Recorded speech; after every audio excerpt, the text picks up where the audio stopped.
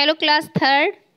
Welcome back again online class of Hindi second I am your Neeraj ma'am students अपनी पिछली video में हमने chapter seven complete कर लिए थे।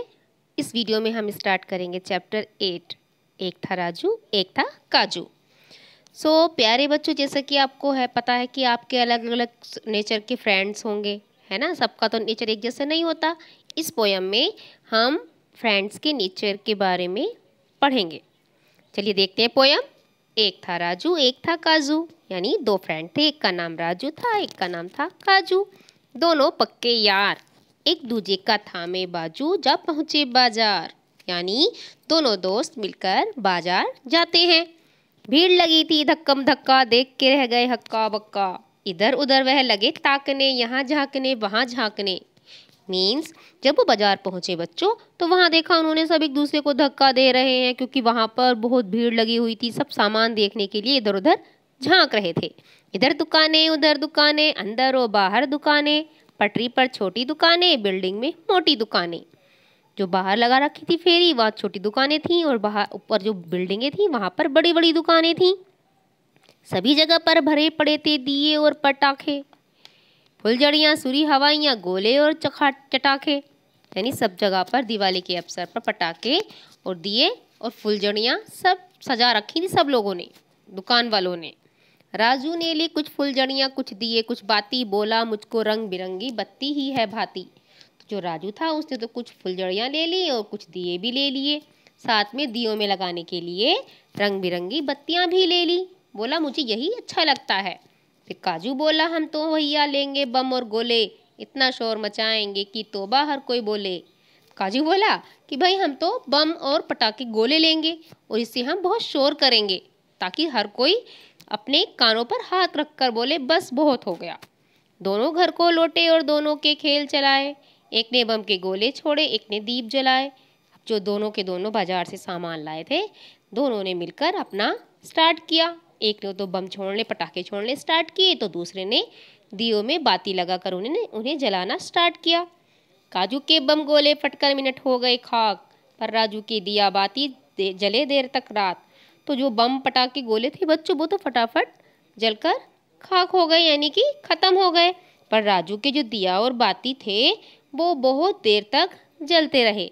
तो बच्चों, हमें इससे यही जीवन मूल्य या शिक्षा मिलती है कि जीवन में सदैव उचित निर्णय लेने का प्रयत्न करना चाहिए। ठीक है बच्चों? आप लोग इस चैप्टर की कोई भी पिक्चर अपनी कॉपी पर ड्रा करेंगे और फिर उसके सप्तमैत्री लिखेंगे। दूजे यानी दूसरे, थामे पकड़े, हक्का बक्का आश्चर्यचकित, ताकना देखना, भांति अच्छा लगना, तोबा छोड़ देना, खाक राख यानी मिट्टी। क्या सीखा, क्या जाना?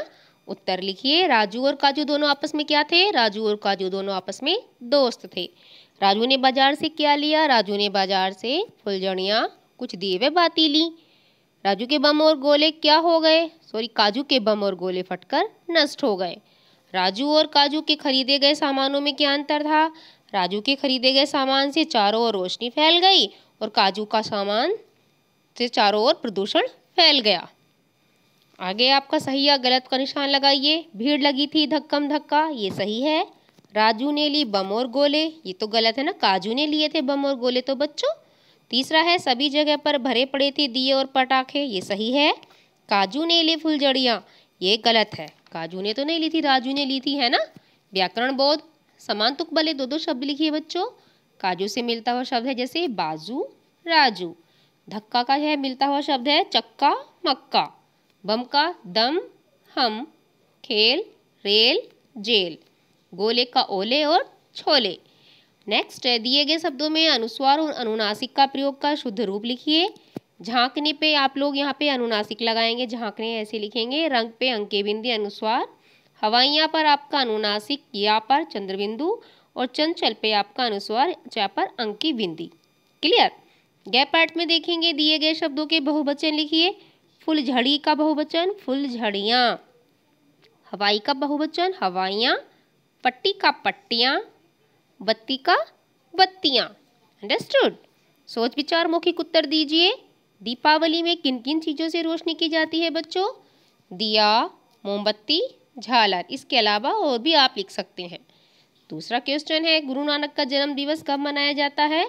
कार्तिक माह की पूर्णिमा को। ठीक है बच्चों? नेक्स्ट है सेवैयाँ किस त्यौहार पर बनती हैं? ईद पर। सेंटा क्लॉज को बच्चे क्यों पसंद करते हैं? क्योंकि वह बच्चों के लिए उपहार लाता है। ओके रचनात्मक गतिविधियाँ में यह है, हम सभी कोई ना कोई त्यौहार अवश्य मनाते हैं। है ना? क्योंकि हर तरह की कम्युनिटी के बच्चे हैं। अपने पसंदीदा बीते त्योहारों के अनुभव को संक्षेप में लिखिए। आपको जो भी त्यौहार या फेस्टिवल अच्छा लगता है बच्चों, उसके बारे में आप यहाँ पर थोड़ा बहुत, यानी ज़्यादा से ज़्यादा फाइव लाइन्स आप लिख सकते हैं। It is your homework okay students now खेल खेल में बॉक्स में दिए गए खाने और पीने की चीज़ों को अलग अलग करके लिखेंगे। खाने की चीज़ें हैं आपकी रसगुल्ला, समोसा, कचौड़ी, जलेबी और नमकीन। पीने की चीज़ें हैं बच्चों, चाय, शरबत, गन्ने का रस ठंडाई योर जूस। सो प्यारे बच्चों, ये आपका चैप्टर कंप्लीट हो गया है। इस चैप्टर का सारा एक्सरसाइज क्वेश्चन आंसर आप लोग बहुत neat and clean hand writing में बिल्कुल सही करके लिखेंगे okay till then take care have nice day